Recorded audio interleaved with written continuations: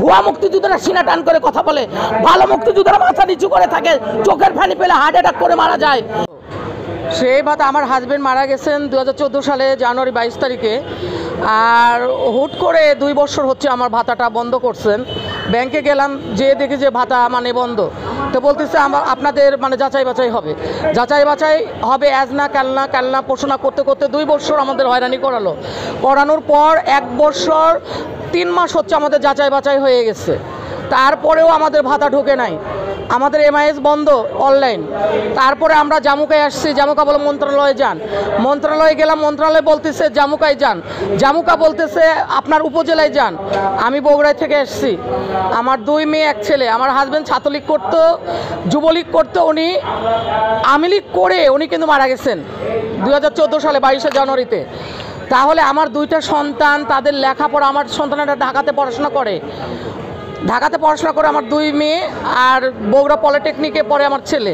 তাহলে আমি এই বিধবা মেয়ে হয়ে কত কষ্ট করে আমার বাচ্চাদের মানুষ করতেছি।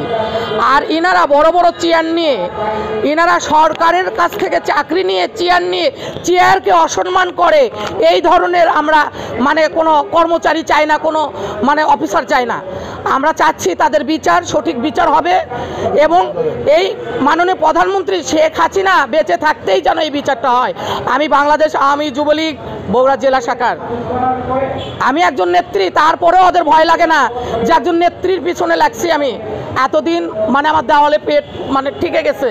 কি বলব, আর মেয়েদের ঢাকা শহরে পড়াশোনা, বাসা ভাড়াতে থাকতে হয়, ছেলে পলিটেকনিকে পড়ে সরকারি কলেজে, তারপরেও তো তাদের খরচ আছে, ইঞ্জিনিয়ার লাইনে পড়ে, প্রতিদিন বলে এত টাকা লাগবে।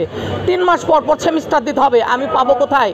তারপরে আমার ভাই সেন্ট্রাল যুবলীগের জয়েন্ট সেক্রেটারি ভাইয়েক নিয়ে আসলাম এই জামুকাতে ভাইয়েক দেখে চেয়ার থেকে লাফ মারে ওঠে, বেটা ভয় লাগে? নেতাদের দেখলে ভয় লাগে তো ভাতা বন্ধ রাখছিস কেন? কি জন্য? আজ দুই বছর, তিন মাস হচ্ছে আমার ভাতা বন্ধ। আমার কষ্টের শেষ নেই, আমি মেয়ে মানুষ, আমি রাজনীতি করি। সৎ রাজনীতি করি জন্য আমাদের পেটে ক্ষুধা। আর যারা দুর্নীতির রাজনীতি করে, তাদের বিল্ডিং হয়ে গেছে দশতলা। ফাজলামো শুরু করছে না? এদের বিচার আমি চাচ্ছি বিধবা হয়। এদের বিচার আল্লাহ স্বয়ং করবে, আমি চাই মাননীয় প্রধানমন্ত্রী যেন এদের বিচার করে। আর আমার ভাতা দ্রুত চালু করার জন্য ওনারা বলছে, আর এক সপ্তাহ পর, এক সপ্তাহ পর এই করতে করতে করতে করতে আমাদের এক বছর তিন মাস হলো যাচাই বাছাই হয়ে গেছে। আবার কালকেও বলতেছে, ফোন করছিলাম মন্ত্রণালয়ে বলতেছে, আপা, আর একটা সমাবেশ হবে আমাদের মিটিং। আপনার এক সপ্তাহ। আমি, ভাই, আর কত এক সপ্তাহ? আর কত নড়াবেন মানুষে দুই নম্বর জালিয়াতি মুক্তিযোদ্ধারা মাথা উঁচু করে চলে আমাদের সামনে। আমাদের কষ্ট লাগে, আমাদের দুঃখ লাগে এখানেই যে এটা কোন ধরনের দুর্নীতি? এই দুর্নীতি আর চলবে না বাংলাদেশে। আমরা জোবালে চলাতে দিব না। যুবলীগ বেঁচে থাকতে চলতে পারবে না।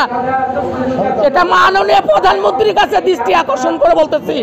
এই জামুকার দুর্নীতি বন্ধ করুন। আপনার সামনে ইলেকশন এই চোর বাটপাড়ের জন্য আপনার ক্ষতি হয়ে যাবে। মুক্তিযুদ্ধ পরিবারের ভোট বন্ধ হয়ে যাবে। আপনাদের অনেক কষ্ট বুকের ভিতরে। মুক্তিযোদ্ধাদের বুক ভরা কষ্ট। এই কষ্টর বিচার আপনাকেই করতে হবে। এখন বলতেছে, কে যেন কাহারা কমপ্লেন করছে? পরে যখন এখানে আসছি, পুরো টাপ বলে, আপা, পাঁচ লক্ষ টাকা ঘুষ দিয়ে গেছে। আপনার আজিজ, আব্দুল জলিল না আজিজের কাছে, সেখানে অফিসার যে, পিউন পর্যন্ত বলতেছে, আপা